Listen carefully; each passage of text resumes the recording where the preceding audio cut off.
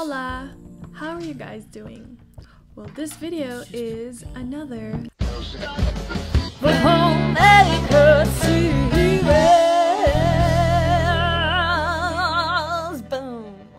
So, here we are, living in a tiny house, as you all know if you've seen some of my videos, and it's all good and nice and perfect. But not this DIY shelving project.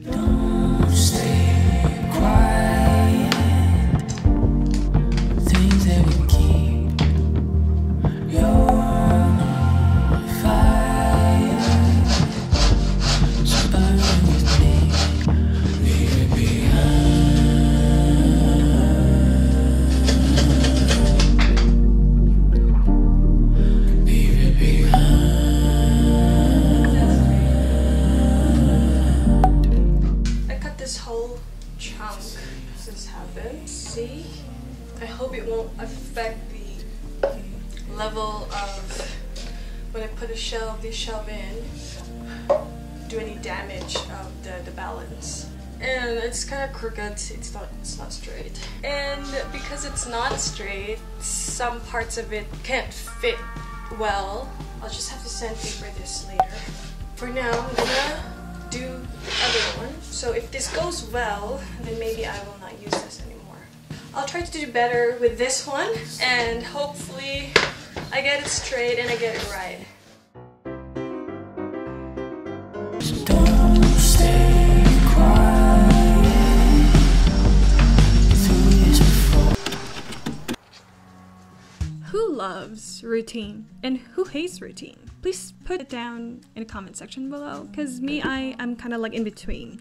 I hate and love routine. I hate it because there are times when I just want to be lazy and be like a potato laying nice and warm under the sheets. And I love it because it provides structure in this uncertain, unorthodox, and I don't know life, you know? I wasn't able to have a routine for myself now. With this routine, I can rely on myself that I can do my tasks and tick them off the list. That crap is so satisfying.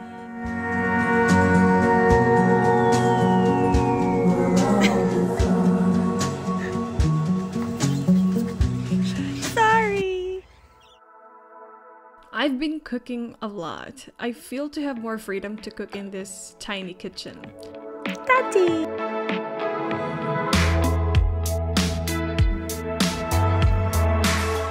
Emphasize the feel here because in the old shared house, I am free to cook. There was no strict rules or anything. As long as you don't burn the house down, then it's okay.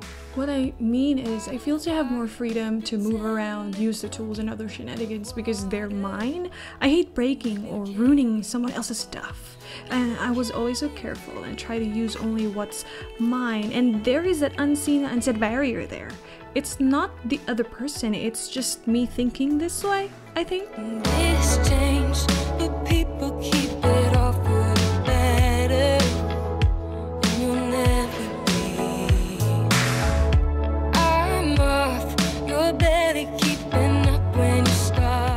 That's why living in this tiny house is really nice and probably the best house that I've lived here in Australia.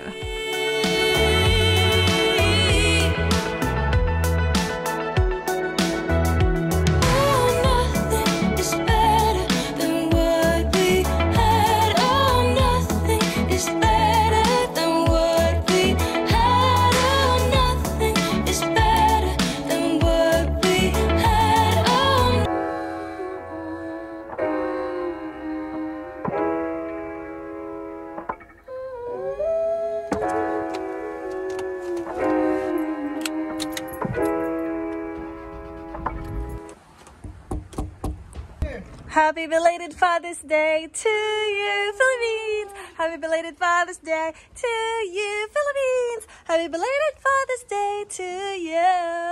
Happy belated Father's Day to you. I'm nothing without you. I'm nothing without you. I'm nothing without.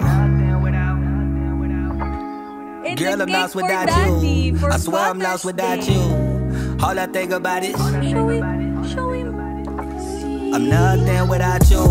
I'm nothing without you. I'm nothing without you. In this tiny house, we celebrate even the small moments.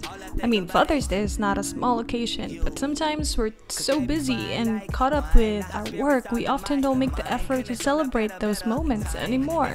I find these moments are the ones that really sticks in my head.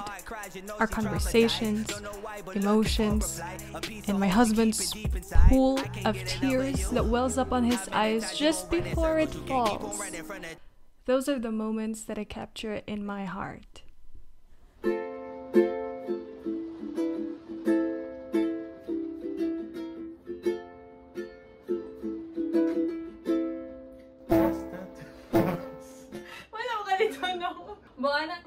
Ko, good na kagkanta. Kung mo tayo eh. Kukuhan ko niyo mo signal. Just the two of us. Just the two of us.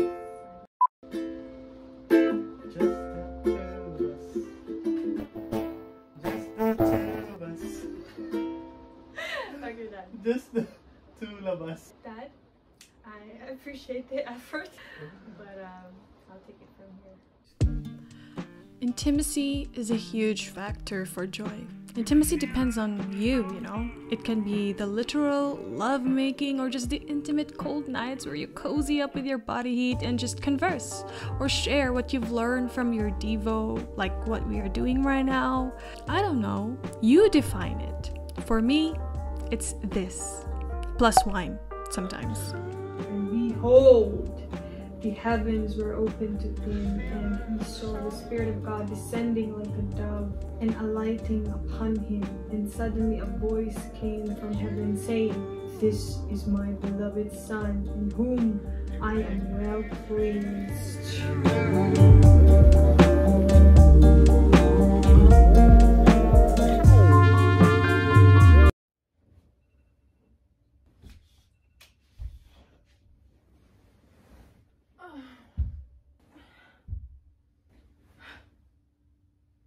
Oh shoot. Removing again. Um,